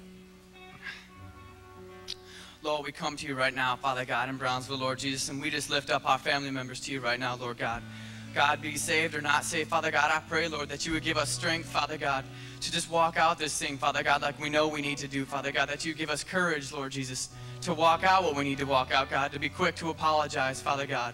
And God, I just pray, Lord, that we would walk this thing out, not so much talking, Father God, but we would walk it out and live it out, Father God, apologizing, Father God, and serving them, Father God, and being Christ-like to them, Lord Jesus. God, I pray that we would continue in prayer for them, Father God, because that's so important, Lord Jesus. And I just pray that, that, Lord, we'd stand in the gap for them, Father God. And whatever they're going through, Father God, we'd be there for them to pick them up, Lord Jesus. And I pray, Lord, that we know it's going to be hard, Lord. But it says in your word that we can do all things through Christ who strengthens us, Lord. And I just pray that you'd move, Father God, and you'd, you'd take a new passion from this place in us, Father God, to go back into our families, Lord Jesus, with passion and with motivation, Father God, to do this thing all the way, Father God. Lord, we love you and thank you for what you're going to do ahead of time, Lord. Amen.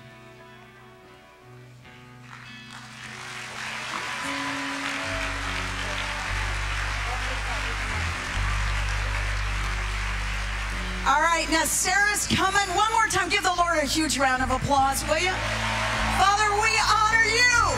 Thank you that we can be a lamb for a house, a lamb for your house and our house, a lamb for a house. We honor you. Thanks for such a privilege. In Jesus' name.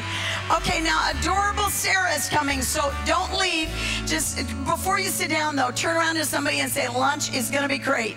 But it's not Taco Bell today. Taco Bell is the last day, so the gas will be the last day. You are such a sweetheart. You are wonderful. Hey guys, can I get everyone to sit down, please? Just everyone take a real quick seat. How many of you guys just appreciated Jeannie's ministry and how awesome she is?